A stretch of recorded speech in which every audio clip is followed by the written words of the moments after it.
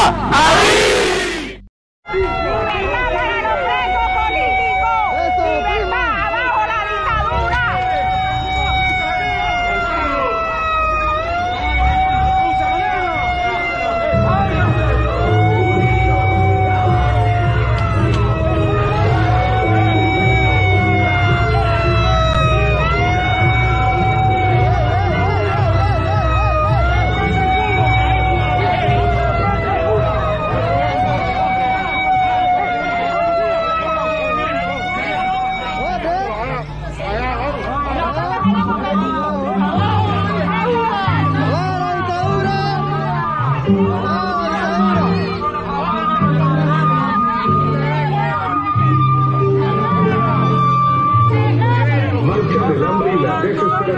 5 de marzo, 4 de la tarde.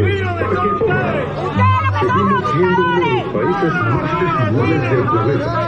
El desempleo sigue creciendo y no hay reactivación económica. Pese al mayor endeudamiento.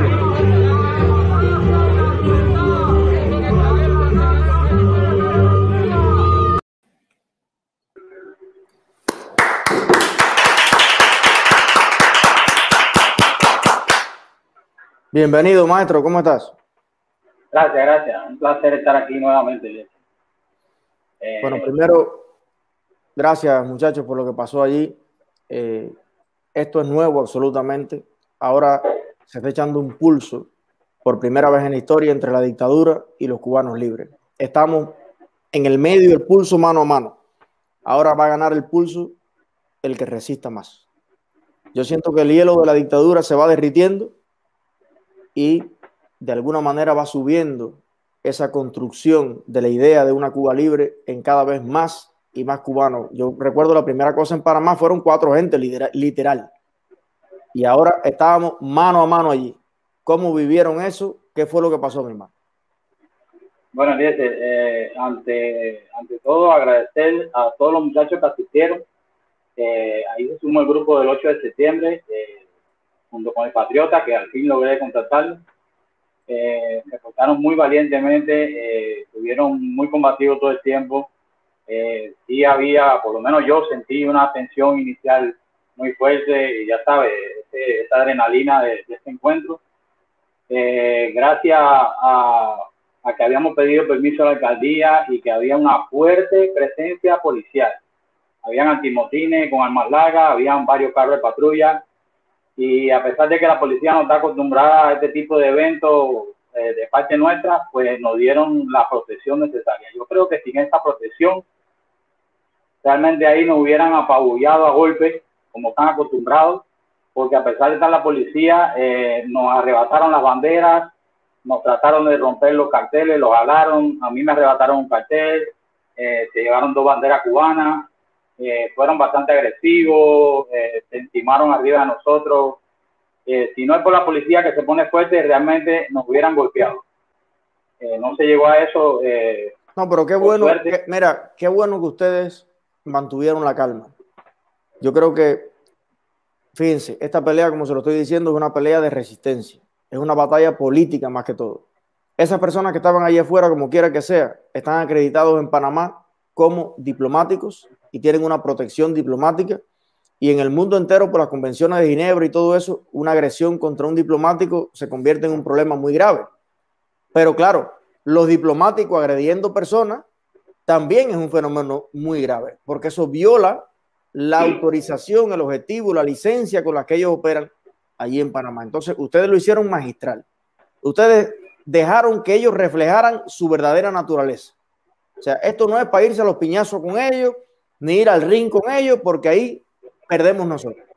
O sea, hay que estar firmes, estoicos, decididos, pero dejar que las agresiones vengan por parte de ellos, que además ya las autoridades de Panamá están bastante cansaditas de esta actitud de los dictadores. Eh, pasó cuando la cumbre, que salieron a dar patalla, a dar piñazos y hacérselo. No, no, ustedes lo hicieron magistral, con la autoridad, con la policía. Conmigo no, mira, con la policía. Yo tengo el derecho de la libertad de expresión y le gritaron en su cara todo lo que le tenían que decir, pero el orden, déjenselo a la policía. Sí, eh, eh, realmente eh, esto lo habíamos preparado con antelación y una de las principales pautas que yo puse como, como la organización del encuentro fue que no podía haber ningún tema violento de parte nuestra. Eso estaba bien claro, todos lo tenían. Además, las personas que estábamos ahí éramos prácticamente los más débiles. Habían personas eh, impedidas físicas, habían personas mayores de edad, mujeres sobre todo, habían niños, estaban mis hijos. Eh, y bueno, todo fue de parte nuestra, eh, nos cogió sorprendido también la gran eh, presencia de organizaciones de izquierda radicadas aquí en Panamá. Estaba la Frenadeso, que es una organización asociada a un partido que en las pasadas elecciones solamente cogió el 0.69 de los votos y bueno, fue erradicado como partido debido a esto y estaba un sindicato de izquierda acá, el Suntra, eh, mucha presencia, nos tenían prácticamente rodeados, eran alrededor de 150 personas, diría yo, y a lo mejor me quedo corto. Tenían un carro de, del sindicato que lo tienen preparado para este tipo de eventos con gran cantidad de audio, una potencia increíble para callar nuestras voces. Lo único que hicieron fue hacer bulla ahí eh, para no irnos. Eh, y por supuesto la consigna de siempre, eh, gusano, mercenario. Realmente yo creo que la planilla de la CIA es muy fácil entrar porque apenas en un día logramos ser aliado del imperio. Eh, enseguida nos tildaron de mercenario, vende patria. Y bueno, ahí le dimos la guerra. Eh, sí, importante decir, Eliezer, que todos estamos muy entusiasmados y que no va a ser la única. Esto acaba de empezar. Esto acaba de empezar y van a saber más de nosotros solamente estamos esperando la próxima para darle duro. Un aplauso para todos los cubanos de Panamá. Bueno, y le digo a todas las personas que no estuvieron allí, señores, súmense. Antes que se me olvide, este, venga, venga. Eh, ahí teníamos la presencia de dos hermanos venezolanos que se sumaron a nosotros. Teníamos la presencia de una dama de blanco llamada Vicky, no me sé el apellido, que fueron allá dando el apoyo. Y personas que se sumaron el último día. Eh, realmente hay algunos que no vinieron pero yo, yo sé que eso es como un prearranque y lo que espero que este evento lo que sirva para pa infundirle valor a lo que a lo que faltaron y que nos acompañen en la próxima. Pero fíjate que suba, su, estamos sumando gente en el mundo entero. A mí me pareció también súper interesante lo que pareció, lo que pasó en Alemania, lo que pasó en España.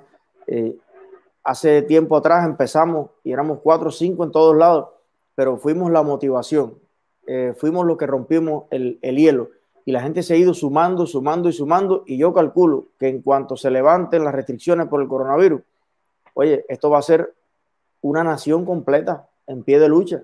Y no va a haber un día, no va a haber una semana, no va a haber un momento de tranquilidad para los dictadores en ninguna parte del mundo porque ya Cuba está despierta. Así que muchísimas gracias, compadre. Cuídense mucho, descansen y retomen energía, que le queda un poquito esta pelea y hay que hacerla ahora con más intensidad. Amén. Gracias, Gracias hermano.